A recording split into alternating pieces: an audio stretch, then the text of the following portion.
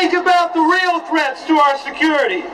It's not the people in other countries who fight against U.S. full-spectrum domination, its trillion-dollar war budget, its thousand military bases in 150 countries. No!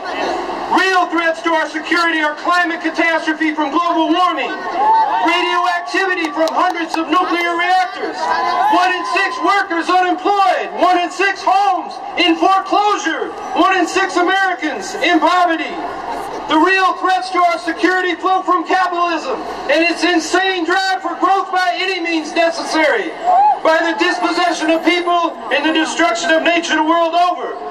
The real threats to our security flow from the two-party structure of corporate rule that protects this system. In the Green Party, we say it is time to change this system. It's time to convert the resources of the military-industrial complex into a multi-trillion dollar, multi-year Green New Deal, to employ the unemployed, to stabilize the climate and the people's needs. It's time to take the power away from the corporate rulers and their political representatives in the Democratic and Republican parties.